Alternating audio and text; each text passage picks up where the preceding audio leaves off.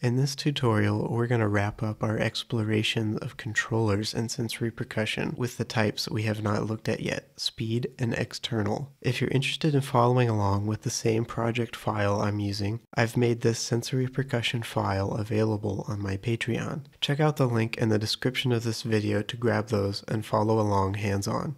Becoming a patron, you'll receive files for every tutorial I have planned in this series, it sort of feels like we've covered a lot of ground already, but there's so much more to come. I've divided this tutorial into three sections. The time marker for each section is in the description of this video if you're interested in one part more than others. Okay, let's dive straight into this. To understand how speed controllers work, I came up with this simple example. Here's a metronome for you on the rim. Play a backbeat with this metronome. This speed controller is modulating reverb mix. Nothing is happening, it's totally dry. Now play eighth notes. A tiny bit of reverb is introduced. As you play faster subdivisions, you'll find new reverb settings.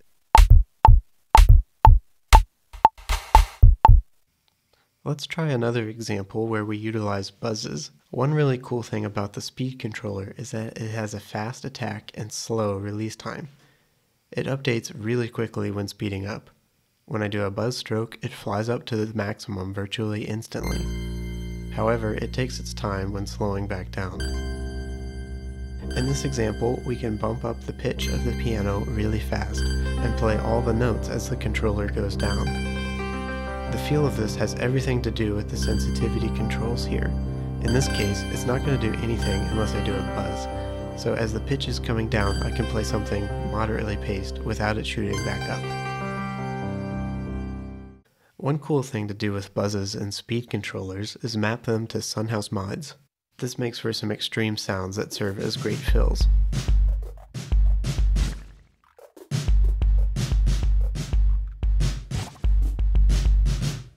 Let's wrap up the speed controller section with a pretty intuitive example. Notice that I put this speed controller on the whole kit as opposed to just one drum. The intent is that whenever I play busier, the sound gets a little more aggressive.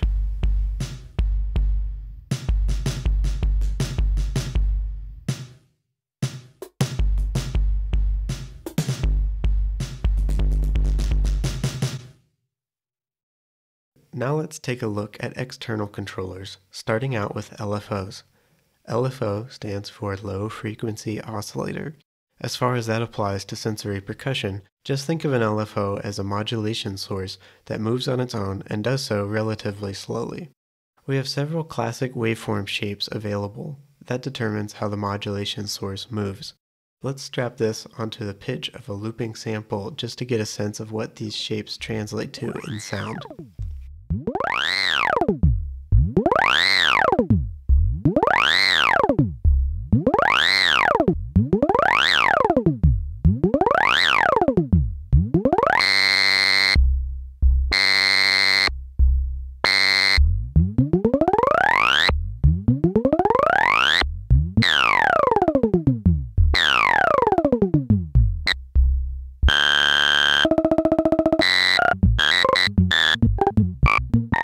LFOs are incredibly useful in less extreme applications, although I do love mapping LFOs to pitch myself. Let's try using an LFO to modulate the length parameter on a sampler. This sample is now alive and changing over the course of time autonomously. We can hear the changes as we play. One advantage we get when using LFOs is that we still have all of our other controllers at our disposal. Try enabling this velocity controller to mix in chorus, and this timbre controller to control sample select for a few different pitch options.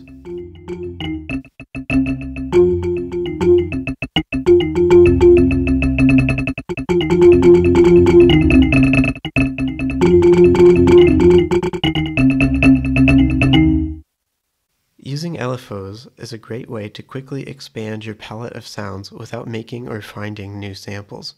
Let's say you want to play a filler sound on your rim and you don't want it to be repetitive. Here's my filler sound. Classic Sound Designer's Whoosh. Enable this LFO to slowly modulate pitch.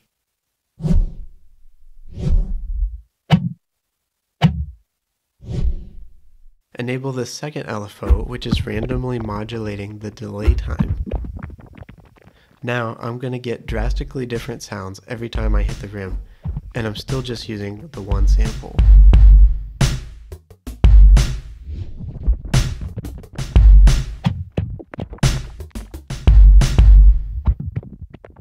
LFOs do not have to be used for continuous controls. Let's use one for button control to do some automated navigation of samples. On this sampler I have samples of piano notes outlining a chord across several octaves. This square LFO is mapped to sample advance, meaning that every time the LFO oscillates, it advances the sample. This is not that different than using the saw down shaped LFO on sample select, a continuous modulation. The reason I wanted to use this LFO in button style is so that I'm free to reset the sample selection at will, and the LFO will just keep advancing from there.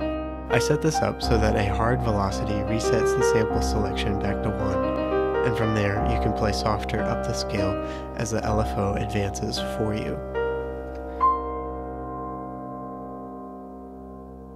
For this final section in the tutorial, we're going to be utilizing MIDI from outside sensory percussion. One very utilitarian use for external MIDI would be to trigger zones you aren't utilizing with the sensors. In this example, I'm using a few MIDI notes from my Octapad to play looping samples loaded onto the rim, shoulder, hardware, and shell zones on the bass drum channel. You can use any device that sends MIDI note messages to do this. I'm using MIDI notes 60, 62, and 64. It's very handy to have this option. The ability to bridge to other controllers opens up a lot of possibilities with sensory percussion.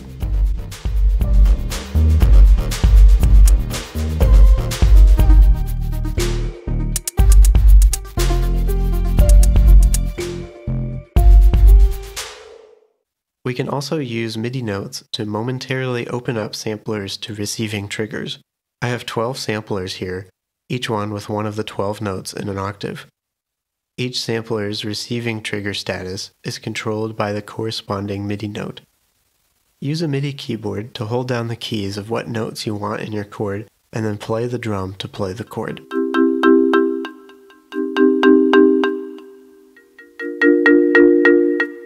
And now the black hole is starting to open up.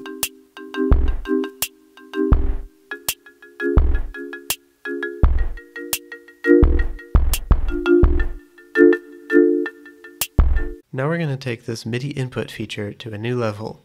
I may be out on a fringe a bit with these last examples, but I think it's important to understand the scope of what's possible, even if you don't end up incorporating this into your workflow all the time. If you have the files to follow along, you'll find an Ableton Live session file with clips containing MIDI for the remaining examples in this tutorial. If you're not an Ableton user, I also included regular MIDI files for use in the DAW of your choice. I will say that in my experience, Ableton Live is by far the most MIDI friendly, but you should be able to do most everything I'm doing in any DAW. Make sure you have an IAC bus set up on your computer and enabled in Sensory Percussion and your DAW. If you have never set that up before, I included a helpful link in the description below. Essentially, an IAC bus is a virtual MIDI cable you can use to send MIDI between different programs on your computer, such as Ableton Live and Sensory Percussion. It's not as scary as it sounds. Once it's set up, you probably won't have to think about it ever again. Let's use a MIDI CC from our DAW to act as an LFO. A huge advantage of using MIDI coming from a DAW is that it can be synced to a metronome. In this case, I just drew a sawtooth shape over the span of one measure. In sensory percussion, we can have that mapped to sampler pitch, creating a cascading vibraphone dreamscape that resets every 4 beats.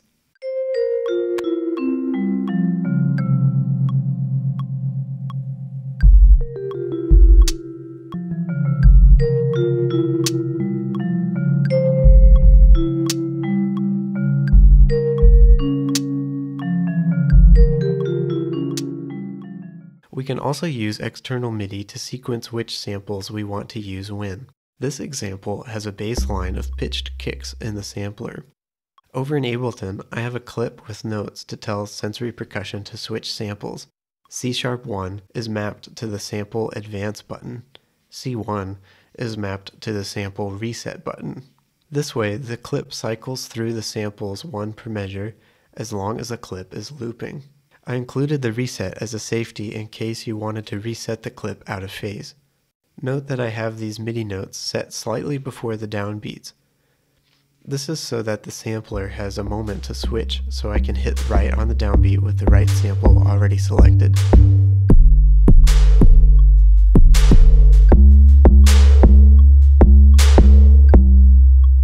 Alternatively, you can use a CC to do the switching and map it to the sample select box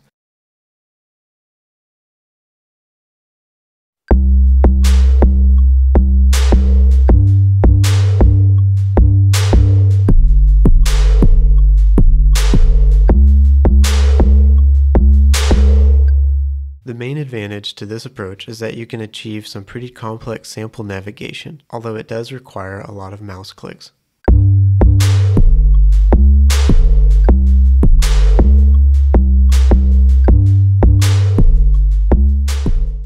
For this final example, I went to town a little bit with this idea of using external MIDI to sequence events and sensory percussion. Think of it as composing a dynamic container for your drumming to fit into. I think this is a game changing approach to music creation with sensory percussion.